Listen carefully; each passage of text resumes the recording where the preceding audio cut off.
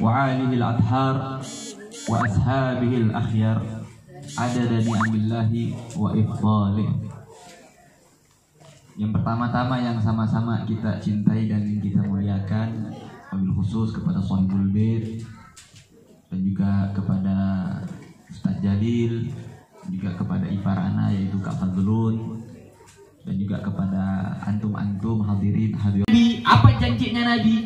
Salatallahu bihi tariqan ila jannah maka akan Allah permudah jalannya dia untuk sampai di dalam surganya Allah Subhanahu wa taala. Amin. Itu kata Nabi. Dan sungguh demi Allah tidak ada satupun ucapan yang melebihi daripada ucapan Nabi. Segala macam janji-janjinya Nabi itu pasti akan ditepati oleh baginda Nabi besar Muhammad Sallallahu Alaihi Wasallam.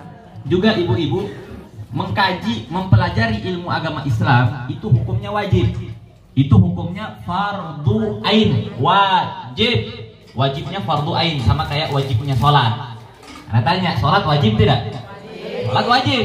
Sholat wajib perorangan itu wajib sholat. Sebagaimana wajibnya sholat untuk perorangan, begitu juga wajib menuntut ilmu untuk siapa pun. Tidak ada satupun rukhsah keringanan untuk siapa pun di dalam meninggalkan ilmu. Tidak boleh sama sekali. Kenapa? Karena menuntut ilmu itu hukumnya wajib.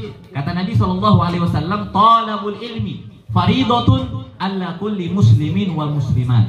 Mencari ilmu itu hukumnya wajib, fardu ain, perorangan. Tidak boleh siapa pun meninggalkan di dalam mencari ilmu agama. Bagi muslim yang laki-laki atau muslim yang perempuan. Kita masih bisa untuk masukin makanan ketimbang di polda. Kalau di polda kita kayak sulit gitu kan. Cuman ini alhamdulillah Habib udah sehat.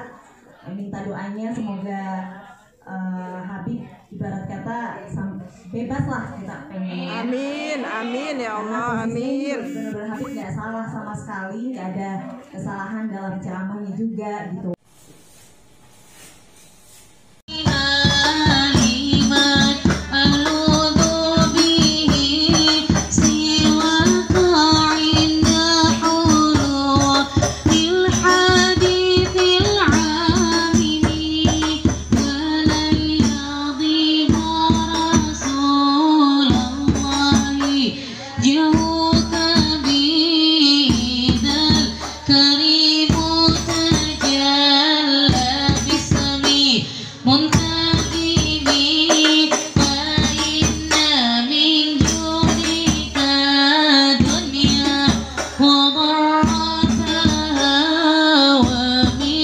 علومك علم اللوح والقلم